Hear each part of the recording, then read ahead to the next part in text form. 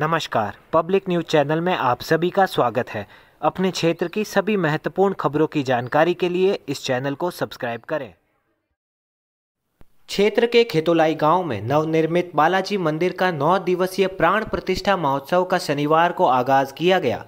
नौ दिनों तक यहाँ धार्मिक अनुष्ठानों का आयोजन किया जाएगा तथा रामकथा प्रवचन के साथ हवन व मंदिरों में प्रतिमाओं की प्राण प्रतिष्ठा की जाएगी। शनिवार को सुबह नवनिर्मित बालाजी मंदिर में गुरु जम्बेश्वर भगवान के 120 शब्दों का पाठ कर नारायण दास के सानिध्य में हवन किया गया। स्वामी भागीरथ दास महाराज के सानिध्य में यजमानों ने भगवान गणेश श्री राम व बालाजी महाराज की पूजा अर्चना की। इस दौरान गोविंदाचार्य व आनंद भी उपस्थित रहे। कलश व शोभा यात्रा में झलका उत्साह। गाँव में शनिवार को स्वामी शिव ज्योतिषानंद महाराज के सानिध्य में कलश व शोभा यात्रा निकाली गई। बड़ी संख्या में श्रद्धालु व सिर पर कलश लिए, महिलाएँ व बालिकाएँ हरि कीर्तन करते हुए शोभा यात्रा में चल रहे थे। श्रद्धालुओं ने पूरे गाँव की परिक्रमा लगाई। इस दौरान गाँव का वातावरण धर्ममय हो गया।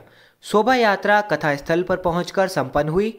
यहाँ प्रवचन करते हुए स्वामी शिव ज्योतिषानंद महाराज जिज्ञासु ने बताया कि बालाजी महाराज की मूर्ति सत्तर से अधिक वर्षों से यहाँ प्रतिष्ठापित है। जिसकी पूजा खेतोलाई व आसपास क्षेत्र के ग्रामीणों की ओर से श्रद्धा के साथ की जाती है। यहाँ ग्रामीणों की ओर से मंदिर का निर्माण करवाया गया है, जो पुण्य का कार्य है। उन्होंने ग्रामीणों का मंदिर निर्माण के लिए आभार जताया।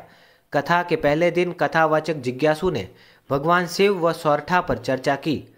उन्होंने रामचरित्र मानस में वर्णित चौपाई, भगवान विष्णु, ब्रह्मा व शिव की कथाओं पर प्रवचन किए। इससे पूर्व रामरतन व मांगीलाल बिश्नोई की ओर से कथावाचक का अभिषेक कर अभिनंदन किया गया।